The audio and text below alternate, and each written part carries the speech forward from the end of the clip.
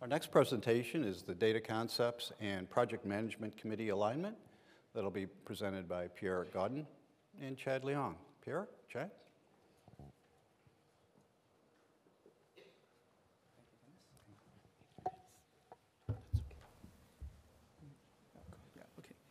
All right, um, good morning, everyone. Good afternoon. So um, when we talk about alignment, we often think about um, alignment in technology, alignment in um, architecture, alignment in Go. But to me, um, one of the important things that we often overlook is actually um, alignment on people. and to, to illustrate what I mean by that, oh yeah, right. Yeah, to illustrate what I mean by that, um, I would like to show you here is a map of actually where uh, all the different teams of OSDU is located at. And as you can see, right now we are close to around 15 countries around the world.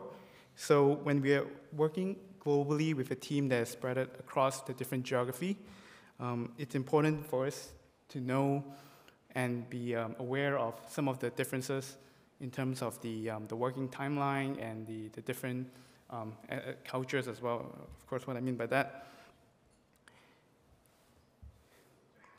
So um, one of the things that I wanted to mention here is that, um, just to want to take for example, um, so um, recently we, we have a, an issue that we discovered in Reservoir DDMS as uh, Philip was mentioning about the, the manifest generation.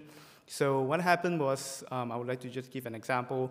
So um, Alice um, actually reached out to me, and Alice, she's located in Paris, in France, and I'm located in, um, of course, uh, Norway, in Stavanger.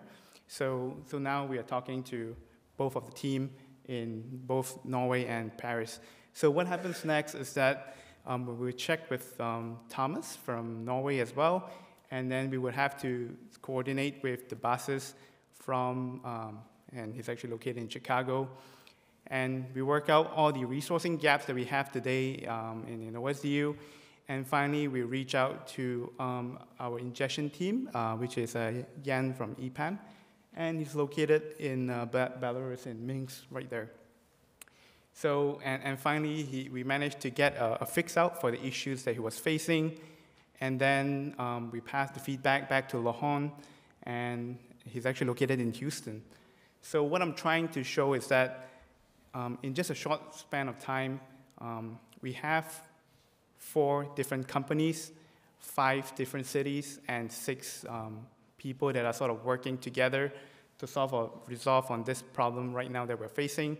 So I just wanted to show you truly how global is um, OSDU and for us to be aware of the different um, things that they're working on uh, in this aspect. Um, which sort of brings me to my next point, um, which is alignment on um, expectation. So we talk about alignment of people, and the next thing is, of course, the alignment of expectation. Um, there are right now two different nature of contribution, if you will, and one is on the fresh development, um, so when we, whenever we kickstart a project in OSDU, um, it's mainly funded by the contributing companies. So I'm just going to show some examples, um, like the policy service, um, some of the groundwork that's been done was donated, and then we have the GCZ, um, David was describing that, and of course um, some of the utilities that were donated by the uh, members of the forum, and right now we have the, the up-and-coming um, rock and fluid samples, DDMS. So of course, there's always the pros and cons to each of these projects and the nature of it. And um, it, of course, like for example, you would have a longer development time aligning with different community. Um, so it's really um, a different process the, the, way that you're looking at it. And if you compare that to the um, existing code donation that we have, like a lot of the um, core services that we have today, we're actually sort of developed pre-R3, so things are slightly more on the stable end. Um, they're, being developed and accepted, accepted um, through adoption and governance. And the, the, pros and cons behind it is, of course, we do have a shorter development cycle uh, because we sort of tested it uh, before releasing it to the public. And, and right now, um, there's always the, the, the, downside of it, which we have to look into sort of integrating with the different data models that have been out there and sort of reworking with, um, of course, uh, Pierrick on, and on the work that has been done on the data definition side. Um, and this is just a quick slide to sort of show, um, and I'm just using DDM as an example. Of course, we have the work on the consumption zones um, and the different part of the uh, services that we have in OSDU. Um, so this is just sort of going through um, the different expectation of people in terms of where we are in the development on the wellbore DDMS, um, the well delivery DDMS, seismic DDMS, so things that have been developed and been around for some time. So um, of, of, course they move at a slightly different velocity. Things are a bit progressing, but uh, much slower because we wanted to make sure that we have we are seeing the adoption right there. And then you have reservoir DDMS, which we just released um, a couple milestones ago. And right now we are working on um, adopting um, adoption by more CSP integration, um, as well as uh, integrating with the core part of the OSDU platform. And of course, we also have uh, production DDMS, sort of um, pretty new um, in the scene. Um, that, that is, of course, happening behind the scenes as well. And we also have the rock and fluid sample DDMS, which is just um, announced last week. And um, the teams are right now working on the different parts of the integration. So um, a lot of you have been asking, so what, what do the PMC really do? So um, we do have uh, several levels of governance within the PMC. So one is, of course, to ensure that uh, the project itself, uh, and if you know, um, in the open source community, we do have the owner of the project itself, and we have to ensure the maintainers have, do have the correct access to the project, um, provisioning the right privileges to the developers so that they can submit code changes and code reviews and all that process. And we do have a published sets of uh, best practices for PMC. Um, for example, we do want to make sure that they're all following the correct um, project structure, um, the milestone cadence. So as uh, Steve was mentioning this morning, um, right now we are on the uh, M16 release, and right now we are actively testing M17. So part of the role is to ensure that um, this yet progresses and doesn't sort of stall at any end. And of course, looking at the merge requests, um, and of course, uh, breaking changes, uh, we do have to go through the review from the EA, um, the advice forum, to make sure that um, everyone is aligned on the changes. Um, InfoSec, we do look at uh, security vulnerabilities to making sure that it gets fixed before uh, it gets exposed to the public. And last but not least, uh, which we do also look at the data concepts alignment, uh, which um, right here will share a bit more about um, how we do it um, through the data concepts integration. Thank you, Chad.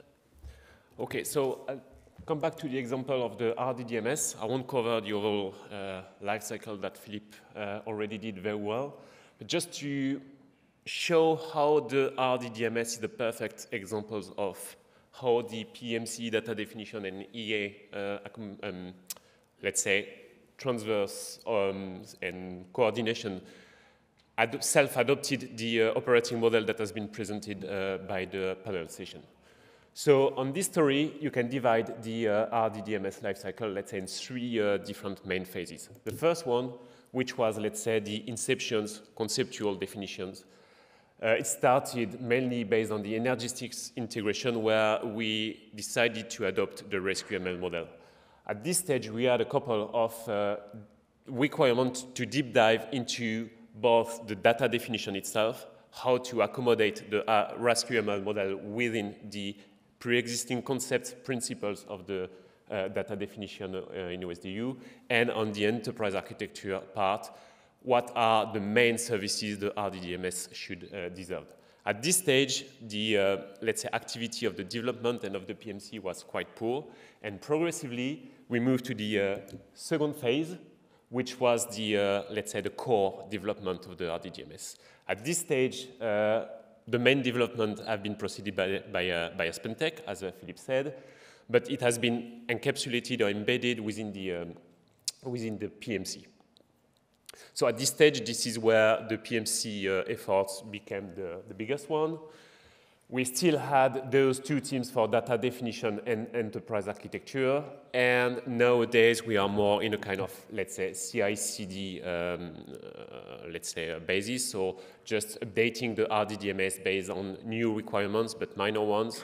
So as Philippe said also, we merged the EA team and the data definition team. We are just proceeding with the continuous uh, additions of uh, requirements, and we are fully aligned and fully embedded within, the project team. So we still have the calls dedicated to the specifications, but the teams are the same within the specification, EANDD, and the PMC.